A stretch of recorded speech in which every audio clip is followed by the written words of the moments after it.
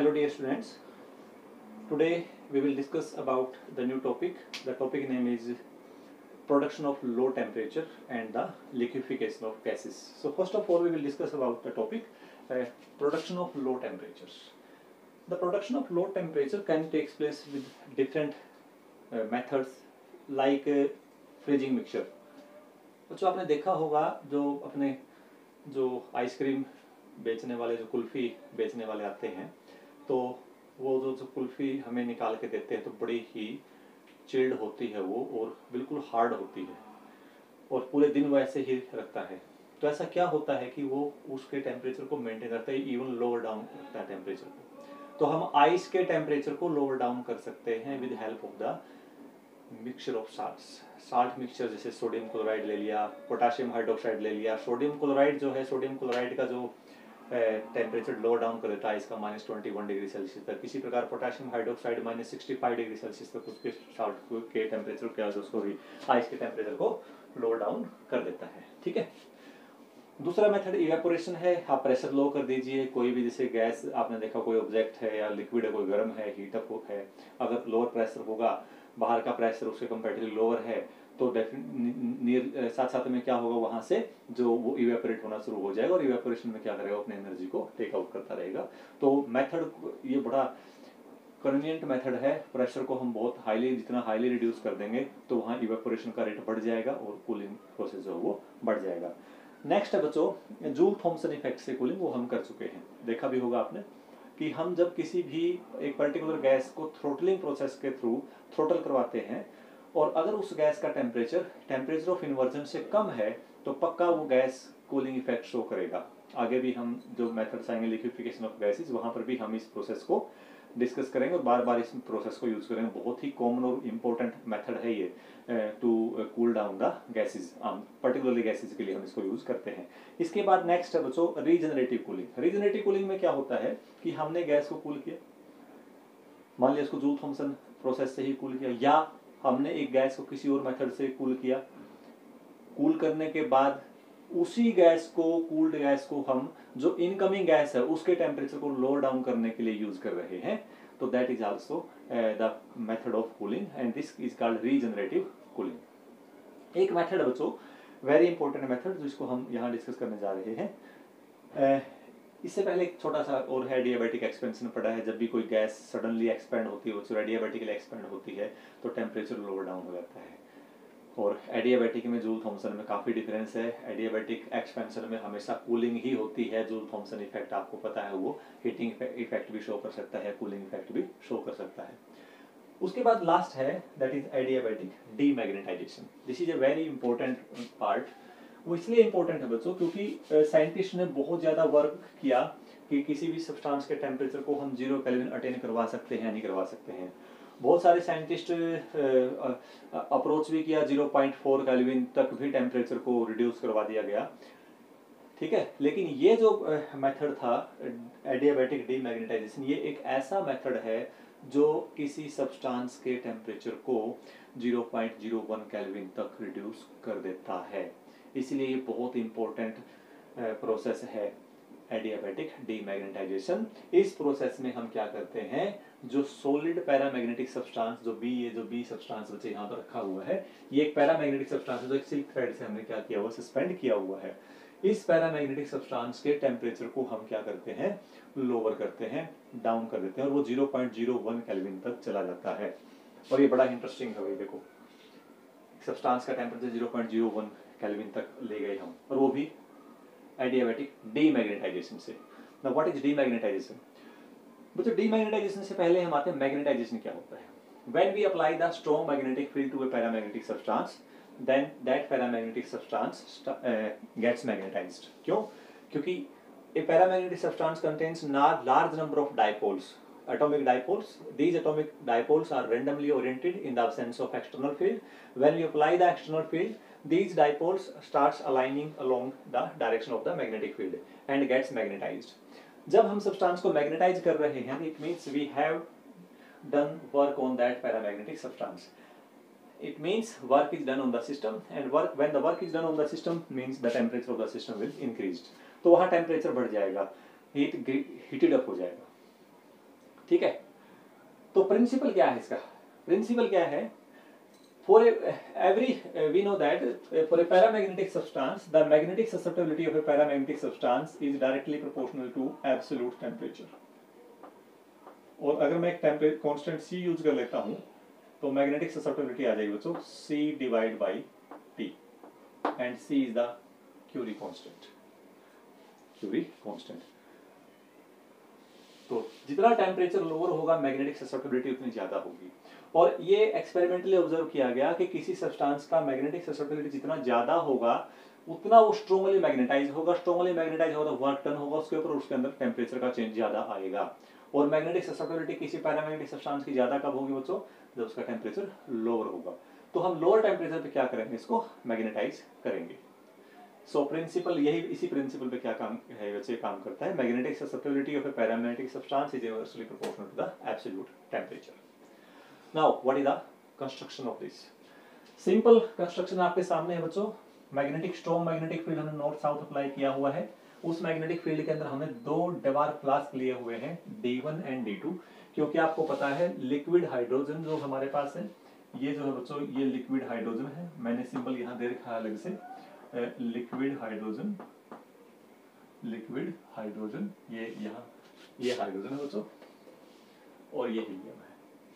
और ये जो बच्चों ये जो येलो कलर है that is liquid helium liquid helium ये हाइड्रोजन लिक्विड हाइड्रोजन हो या लिक्विड हीलियम हो, उनको हम किसी सिंपल नॉर्मल कंटेनर में नहीं ले सकते हैं. उनके लिए special type of flask use किए जाते हैं. उनका नाम है बच्चों Dewar flask D one and D two D two flask में हीलियम है और डी वन फ्लास्क में क्या है? लिक्विड हाइड्रोजन है. उसके बाद हमने एक कंटेनर कह लीजिए कोई इस टाइप से हमने लिया कि जिसके अंदर हमने पैरामैग्नेटिक सब्सटेंस को सस्पेंड कर दिया है। और यहाँ एक आउटलेट छोड़ दिया है इसके अंदर, इधर। या आगे कब, आप इसको कवर कर सकते हो। इसका काम क्या होगा?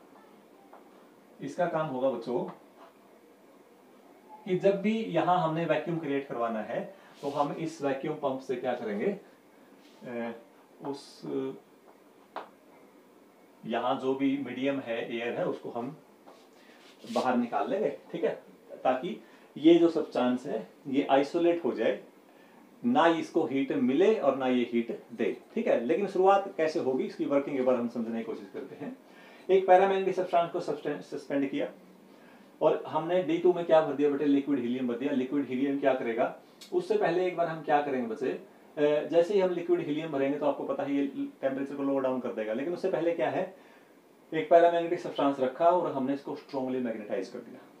स्ट्रॉन्गली मैग्नेटाइज करते ही क्या होगा आपको पता है? स्ट्रॉन्गली मैग्नेटाइज करते ही ये मैग्नेटिक सब्सटेंस के एटम एक तरफ़ अलाइन होंगे उन पर वर्क डन होगा। वर्क डन होगा तो एनर्जी उनके अंदर बढ़ेगी एनर्जी बढ़ेगी तो टेम्परेचर बढ़ेगा। अब क्या किया? टेम्परेचर बढ़ने के बाद हमने डी टू फ्लास्क में लिक्विड हीलियम डाल दिया। लिक्विड हीलियम डालते ही क्या बचे? ये इसके कंटेक्स में संपर्क में आया।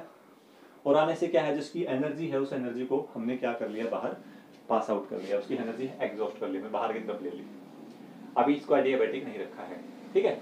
जैसे हमने इसकी एनर्जी बाहर ले ली है, बाहर एनर्जी लेने के बाद, अब क्या होगा इसका टेम्परेचर लो डाउन हो गया है। और इसको क्या कर लिया यहाँ से, अब हमने इसको एग्जॉस्ट से इसको बाहर निकाल दिया वैक्यूम पंप से, ताकि अब ये पैरामैग्नेटिक सब्सटेंस बाहर के सिस्टम के कंपैरेटिवली आइसोलेट हो जाए means no heat gain by the system never heat exchange by the system अब ऐसा केस हमने कर दिया कि ना हीट लेगा, ना हीट देगा। अब क्या करेंगे? अब हमने मैग्नेटिक फ़ील्ड ऑफ़ कर दिया। मैग्नेटिक फ़ील्ड ऑफ़ करते ही क्या होगा? मैग्नेटिक फ़ील्ड ऑफ़ करते ही हमारा सब्सटेंस डीमैग्नेटाइज हो जाएगा।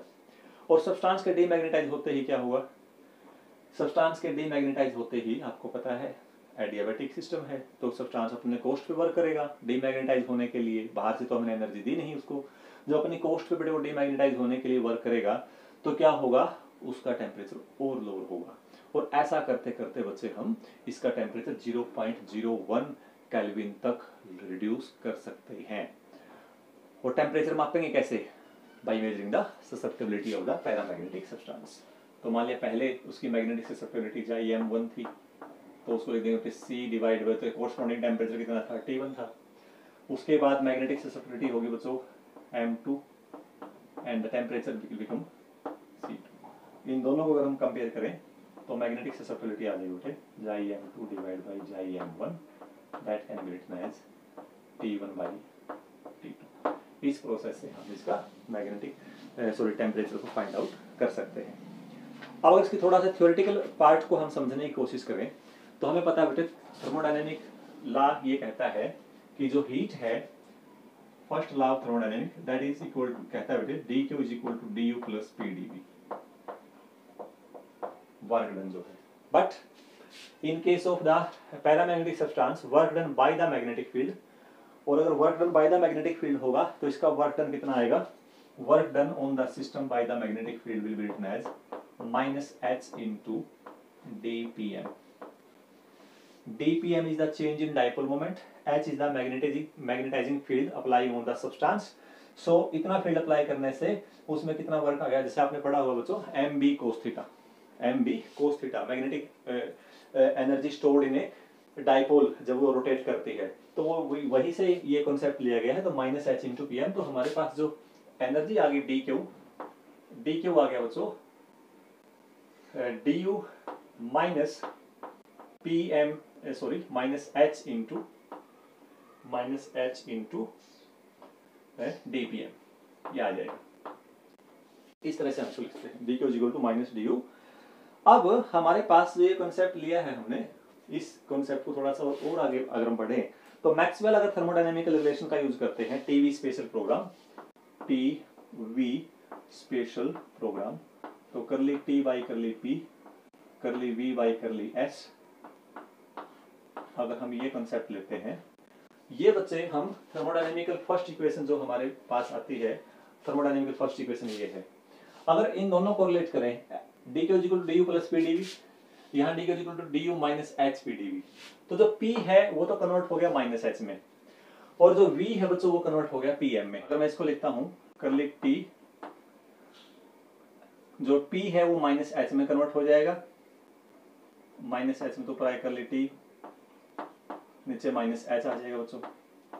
और जो वी है, वो कन्वर्ट हो जाएगा पी एम में। कर ली पी एम डिवाइड बाई कर ली एस ये एस आ जाएगा, ये पी आ जाएगा। ठीक है? अब यहाँ से थोड़ा सा अगर इसको हम चेंज करके लिखें तो चेंज क्या कर सकते हैं बच्चों इसको? यहाँ से आ जाएगा बच्चों माइनस कर ली टी बाई कर ली एच इज़ इक्वल टू कर ली पी बाई कर ली पी एम बाई कर ली टी हमने क्या किया?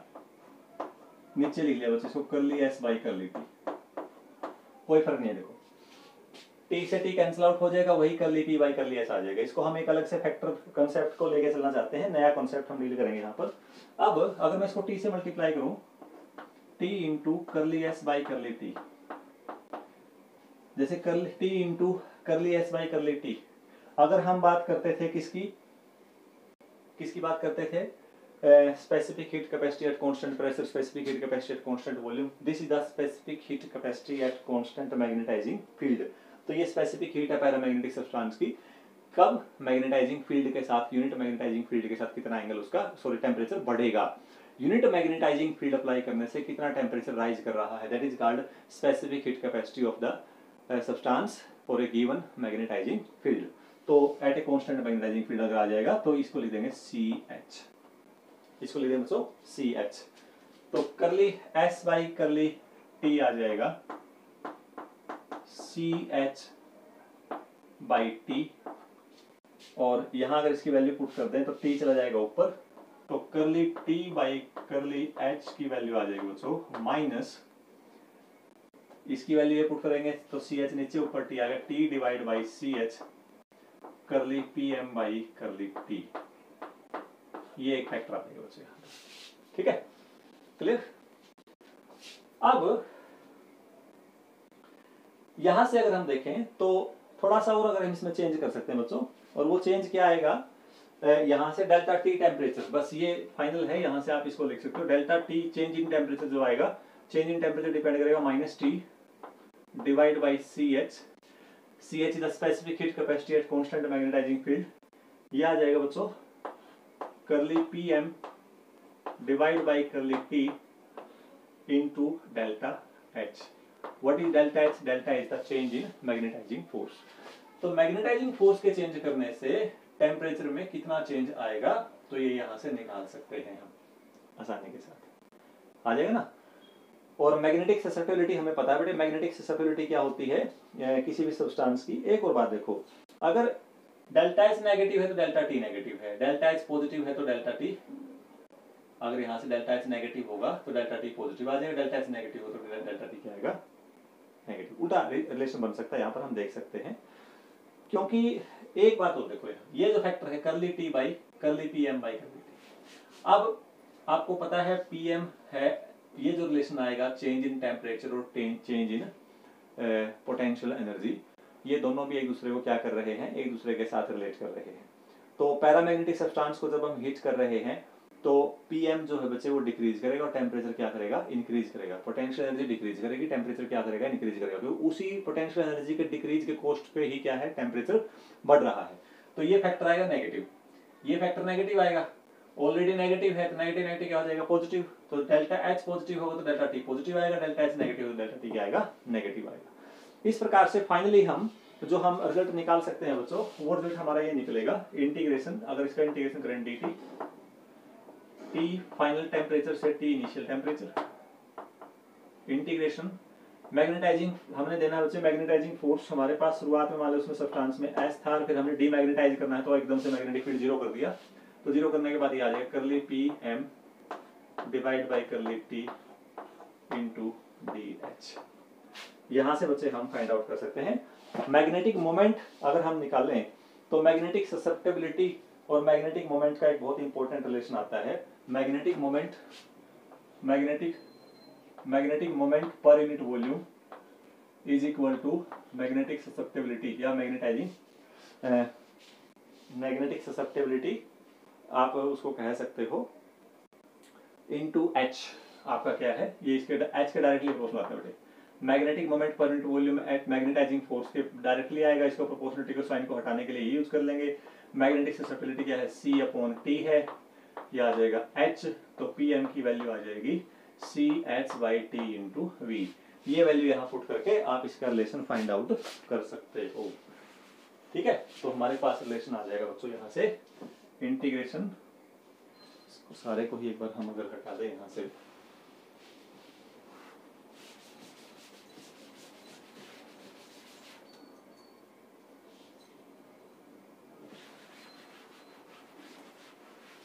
अब अगर देखें तो ये आ जाएगा टी वन से T two D T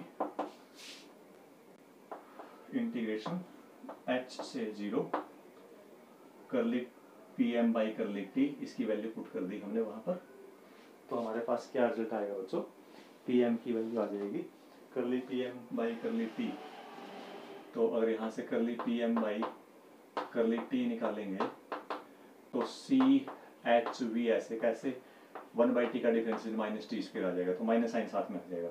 minus minus plus हो जाएगा curly P by curly T की वैल्यू आ जाएगी C H V divide by T square divide by T square T divide by C H minus से minus cancel out into D H बच्चे, एक बात ध्यान रखियो, यहाँ पर एक टी से एक टी कैंसिल आउट ये सी और एच अलग है और ये सी एच सी यहाँ सी एच का मतलब स्पेसिफिक हीट कैपेसिटी यहाँ सी का मतलब है क्यूरी कॉन्स्टेंट और एच क्या है? मैग्नेटाइजिंग फोर्स ये दोनों अलग अलग पैरामीटर है यहाँ पर. इसको ले जाओ. तो T D T integration T one to T two is equal to final से इनिशियल मैग्नेटाइजिंग फोर्स बच्चों एच से zero one by C H C H V D H तो जब इसका एक्सप्रेशन को फाइंड आउट करेंगे तो हमारे पास फाइनल रिज़ल्ट निकल के आएगा। जस्ट फाइनल रिज़ल्ट हम देखेंगे बस यहाँ पर। और फाइनल रिज़ल्ट आ जाएगा बच्चों फाइनल टेम्परेचर का स्क्वायर यानी T2 का स्क्वायर इज़ इक्वल टू आएगा। T1 का square minus A H square divide by C H और जो C V C into V है बच्चे, इसको मैंने ए मान लिया ठीक है, कोई कॉन्स्टेंट मान तो इस प्रकार से आप देख सकते हो तो फाइनल टेम्परेचर जो आएगा इनिशियल में से ये फैक्टर पैरामीटर क्या है? घटेगा क्यूरी स्पेसिफिक हीट कैपेसिटी ये Curie constant per net volume आ जाएगा। यहाँ पर simple Curie constant into volume और ये क्या है? मैग्नेटाइजिंग फोर्स तो इस प्रकार से हम किसी भी सब्सटेंस के टेम्परेचर को सॉलिड पैरामेंटिक सब्सटेंस के टेम्परेचर को रिड्यूस कर सकते हैं।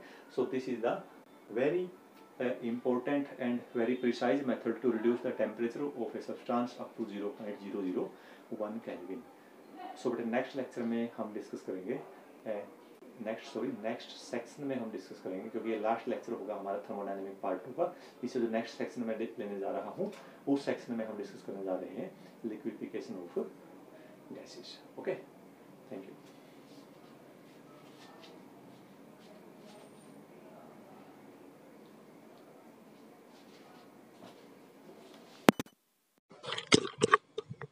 so dear students next topic is liquefaction of air देखिए बच्चों, इस टॉपिक को पढ़ने से पहले अगर हम थोड़ा सा पास्ट में जाएँ तो ये मान लिया गया था कि air oxygen hydrogen nitrogen helium ये जो गैसेज हैं, ये हमेशा गैसियस स्टेट में ही रहेंगी किसी भी पर्टिकुलर टेम्परेचर पर।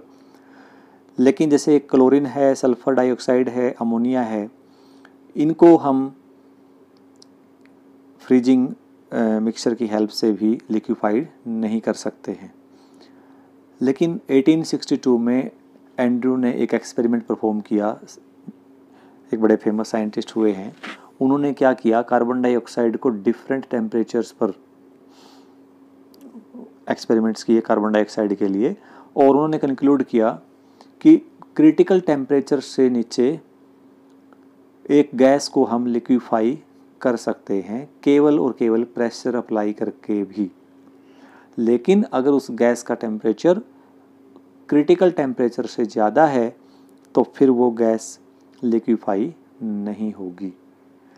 तो कुछ गैसेज जैसे हम एग्जांपल अगर लें कार्बन डाइऑक्साइड है, इसका critical temperature minus thirty one point one degree Celsius होता है, ऑक्सीजन का जो क्रिटिकल टेम्परेचर होता है बच्चों, वो minus one eighteen point eight degree Celsius होता है।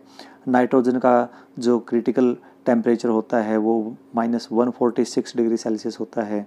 हाइड्रोजन का minus two forty degree Celsius होता है और हीलियम का minus two sixty seven point eight degree Celsius होता है।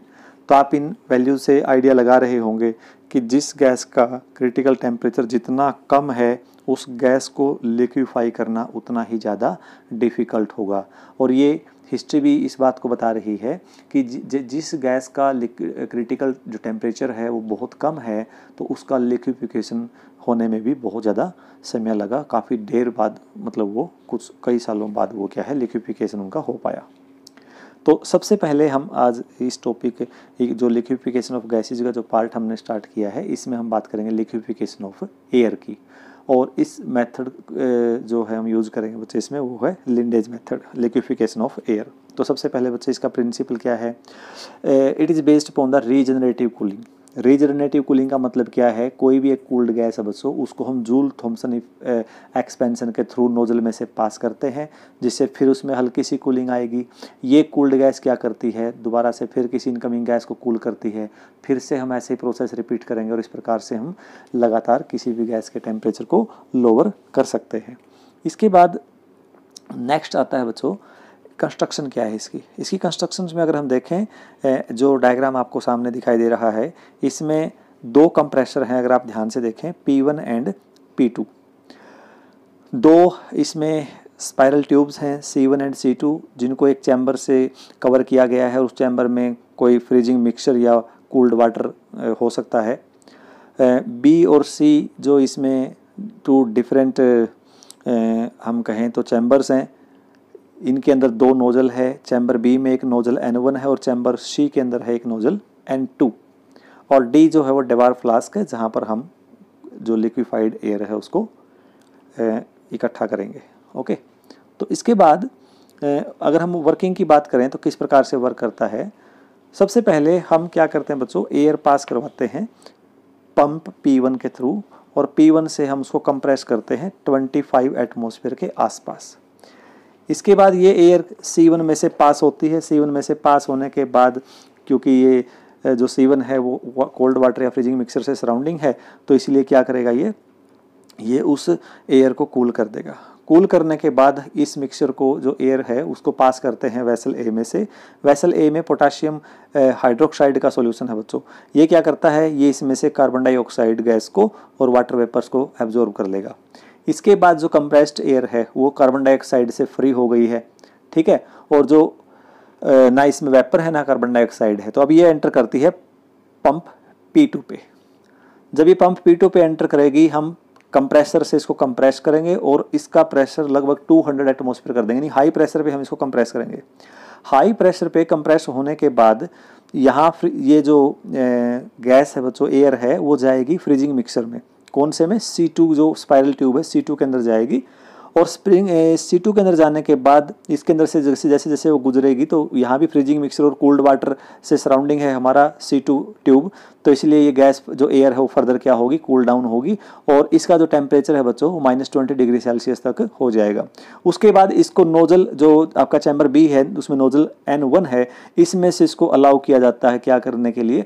एकदम से जूल फ्री एक्सपेंशन सफ़र करने के लिए।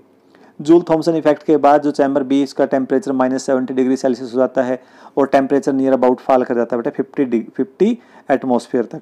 उसके बाद जो यहाँ गैस हुई है, ये ओपन होकर देखो बी के अंदर दोबारा से फिर ये गैस बी की जो देखिए आप बी जो है चैम्बर हमारा बी चैम्बर इस प्रकार से डिज़ाइन किया गया है कि उसकी एक तो टू जो हमारी स्पायरल ट्यूब है, वो एंड खुलती ओपन होती है उसके अंदर नोजल एन के साथ। और दूसरा जो है ना ओपनिंग जो वापस इसमें आ जाती है आपकी पंप पी टू में। तो जो 70 के ऊपर आई है माइनस सेवेंटी डिग्री सेल्सियस पे जो एयर आई है, वो वापस P2 पे आएगी। P2 से फिर फर्दर 200 एटमॉस्फेयर पर उसको कंप्रेस करेंगे। कंप्रेस करने के बाद फिर से वो C2 में से जाएगी और इस प्रकार से फर्दर ये प्रोसेस रिपीट होता जाएगा रिपीट होता जाएगा। और एक पर्टिकुलर टाइम पर आकर हम जो नोजल N2 है, उसको हम तब ओपन करेंगे जब हमारी एयर का जो टेम्परेचर है, वो near about minus one degree Celsius तक रीच कर जाएगा। और इस टेम्परेचर पर हमारी जो एयर है वो लिक्विफाइड हो जाएगी और लिक्विफाइड होने के बाद क्या है बच्चों, हम उसको डबार फ्लास्क में कलेक्ट कर लेंगे। और इस तरह से हम एक लिक्विफाइड एयर आसानी से फाइंड आउट कर सकते हैं। और जो अनलिक्विफाइड एयर है, जो अनलिक्विफाइड जो लिक्विफाई नहीं हुई है, वो सी चैम्बर से होते हुए बिल्कुल ऊपर टॉप से जो टी ट्यूब दिखाई दे रही है, वहाँ से होते हुए वापस किसमें आ जाएगी? पी वन पंप में आ जाएगी, उसको फिर फर्दर हम कंप्रेस करेंगे और ये प्रोसेस बच्चों लगातार रिपीट होता रहेगा और इस प्रकार से हम लिक्विफिकेशन कर सकते हैं। तो ये हमारा था लिक्विफिकेशन ऑफ़ एयर तो नेक्स्ट पार्ट में हम डिस्कस करने जा रहे हैं liquification of hydrogen so in this section we will discuss about the liquification of hydrogen now first of all what is the principle also it is based on the regenerative cooling which is combined with the Joule Thomson effect but the very important point is that it requires a pre-cooling before, below a temperature of inversion, minus 80 degree because हमें पता है बच्चों, जो इसको अगर regenerative cooling करवानी है तो इस सबसे पहले हमें जो हाइड्रोजन का टेम्परेचर ऑफ़ इन्वर्जन है, वो अटेन करना पड़ेगा। टेम्परेचर ऑफ़ इन्वर्जन अटेन होने के बाद चूल थॉम्सन जो इफ़ेक्ट है, उसकी कूलिंग से हम क्या कर सकते हैं? लगातार इसके टेम्परेचर को डाउन कर सकते हैं। तो हमारा पहला मेन पर्पज़ होगा कि किसी भी तरह से इसके टेम्परेचर को कहाँ तक लेके आना? माइनस एटी डिग्री सेल्सियस तक लेके आना। और हम आसानी से ये टेम्परेचर अचीव भी कर लेते हैं। तो कंस्ट्रक्शन क्या है? एटीन नाइन्टी एट में एक इसके लिए जो डायग्राम है या जो हम कहें इसका सेटअप है, वो डिज़ाइन किया गया था। उसके बाद ट्रैवर्स और नरनेस्ट ने इसको इम्प्रूव किया। तो इसमें अगर आप देखिए ध्यान से जो आपके सामने जो डायग्राम है, इसमें सबसे पहले हम देखें पी इज़ ए कंप्रेशर और जो आई दिखा रखा है यहाँ पर पी के साथ यहाँ से इनलेट बोलते हैं इसको, यहाँ से हम हाइड्रोजन को अंदर एंटर करवाते हैं। इसके बाद इसमें जो पाँच क्वाइल्स ट्यूब्स हैं इसमें C one C two C three C four and C five और ये डिफरेंट चैम्बर्स में प्लेस्ड है।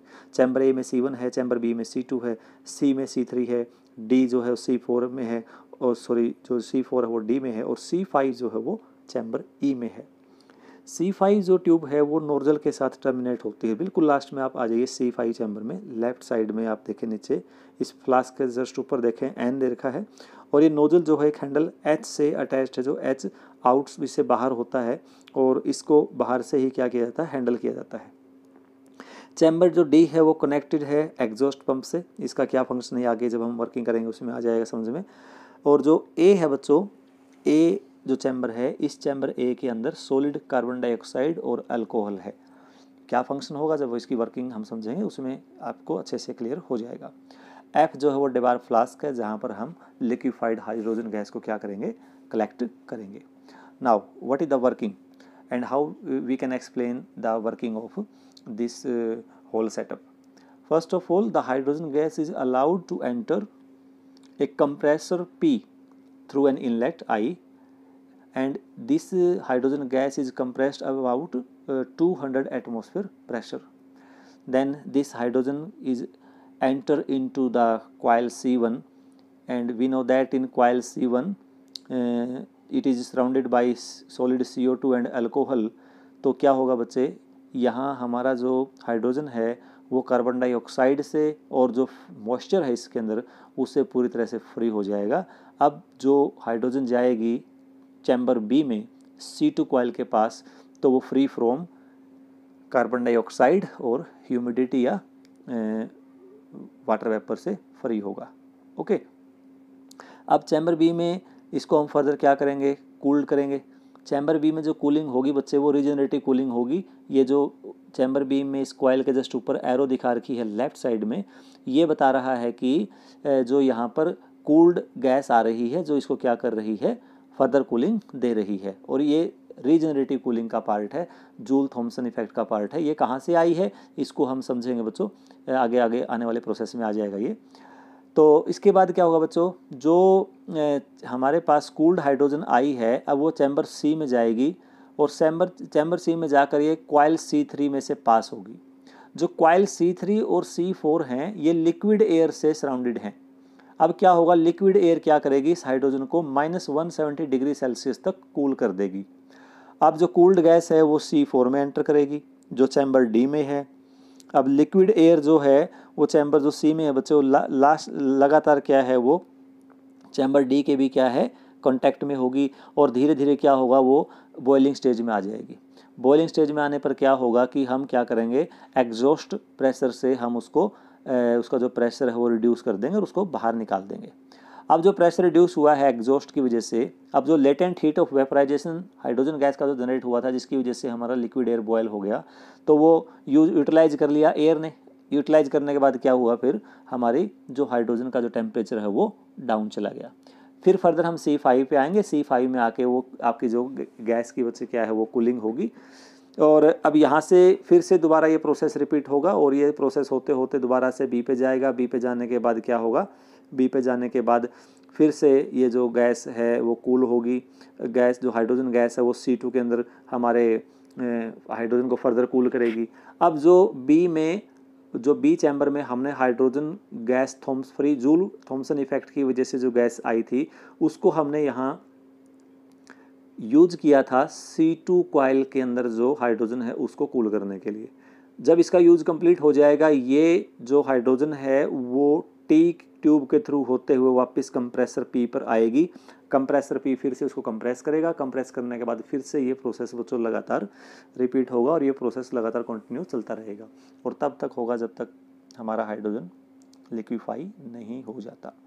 और जैसे ही हमारा हाइड्रोजन लिक्विफाई होगा, उसको minus two fifty degree Celsius के आसपास डेवार्क फ्लास्क में हम क्या कर लेंगे? कलेक्ट कर लेंगे।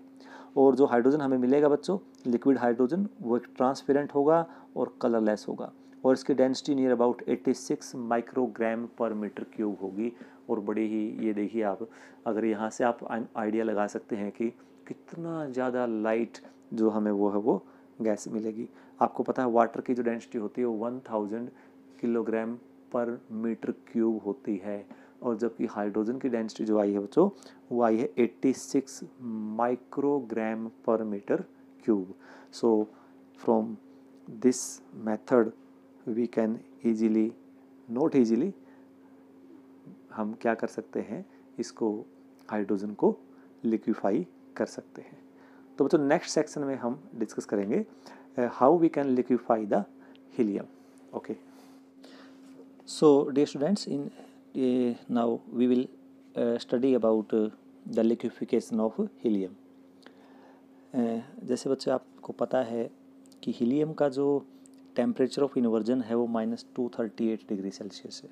Minus two thirty eight degree Celsius है टेम्परेचर ऑफ़ इन्वर्जन मतलब वो टेम्परेचर जिस टेम्परेचर से नीचे जूल थॉम्सन इफ़ेक्ट क्या है फॉलो होगा यानी एप्लीकेबल होगा। यानी रीजनरेटिव कूलिंग उसके बाद ही शुरू होगी। दूसरा पॉइंट क्रिटिकल टेम्परेचर जो है वो बहुत कम है minus two sixty eight degree Celsius critical temperature क्या होता है? क्रिटिकल टेम्परेचर वो टेम्परेचर है, जिस टेम्परेचर से अगर नीचे गैस टेम्परेचर अटेन कर रही है तो उसको लिक्विफाई करना आसान होगा, हो जाएगी। बॉइलिंग पॉइंट है हीलियम का minus two sixty eight point eight degree Celsius और बॉयल टेम्परेचर है बच्चों minus two fifty two fifty six degree Celsius तो ये डाटा आपको मैंने जो बताया है, इसका कोई रीज़न है बताने का? आप कोई भी चार जो मैंने डाटा बताए हैं, आप खुद इसको अगर एनालिसिस करें और सोचें तो आप हैरान रह जाएँगे कि इतना लो टेम्परेचर पे हम किस तरह से इसको लिक्विफाई कर पाएँगे।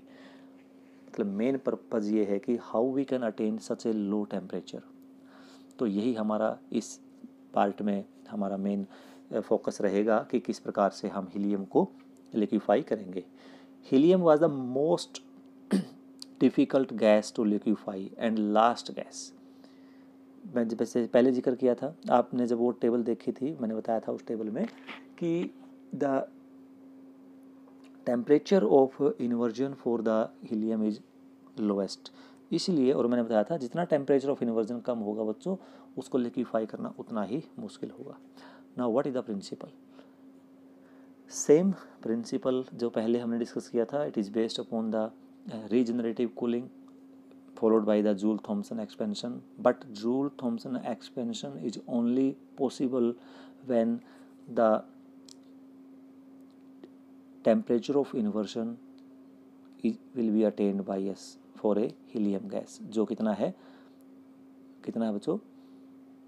Minus two thirty eight degree Celsius.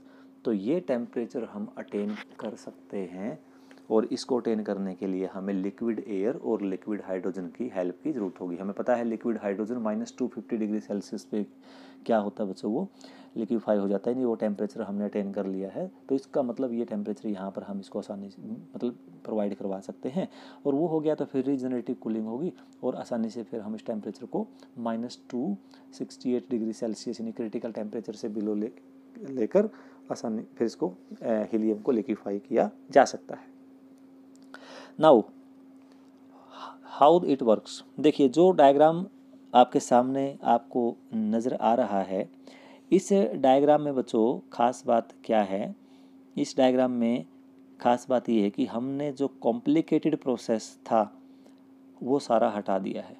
मतलब हमने, क्योंकि सबसे पहले हीलियम को प्री कूल करना पड़ेगा प्री कूल करके उसको क्या करना पड़ेगा बच्चों?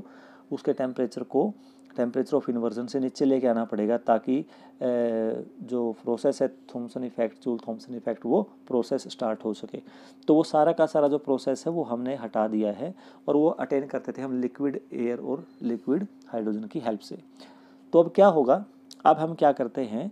जो प्री कूल हीलियम है, बिल्कुल टॉप से देखिए आप टॉप में जो प्री कूल हीलियम है, वो सी में से एंटर करती है। जैसे वो सी पे जाएगी तो के पे दो पार्ट हो गए बच्चों। तो के पे टू पार्ट्स हैं तो टू पार्ट्स से, यानी दो इक्वल पार्ट में डिवाइड हो गया। हीलियम का कुछ पार्ट चला गया सी टू पर और कुछ चला गया सी वन पर।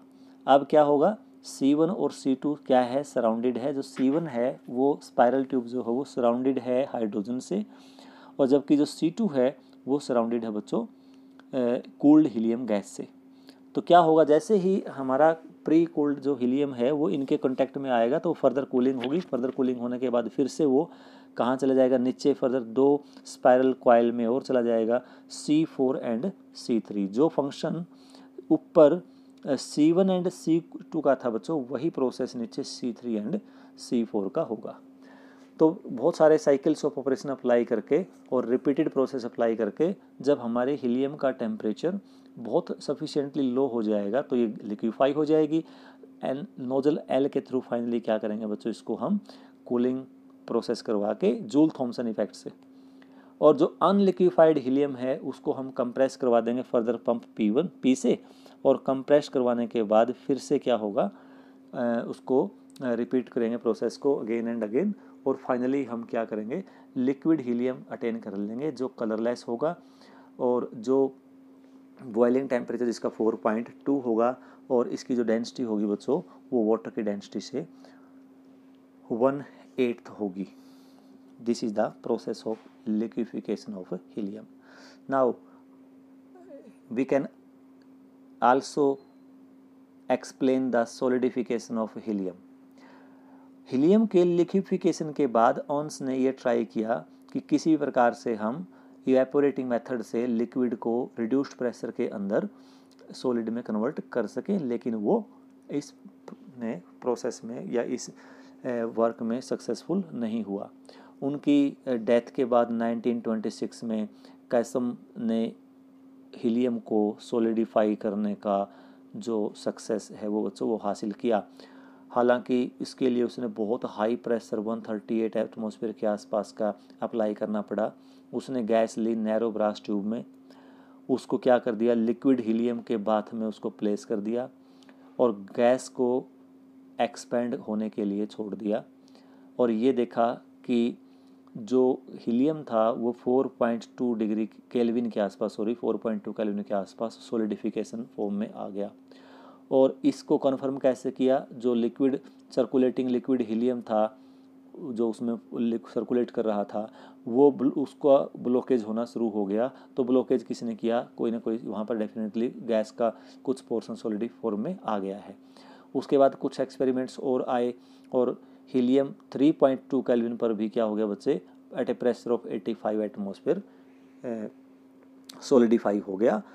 और इसी प्रकार हम हीलियम को 1.1 केल्विन पर और 30 एटमॉस्फेयर के एटमॉस्फेयर प्रेशर पर भी क्या कर सकते हैं? सोलिडिफाई कर सकते हैं। So this is all about the liquification of gases okay thank you.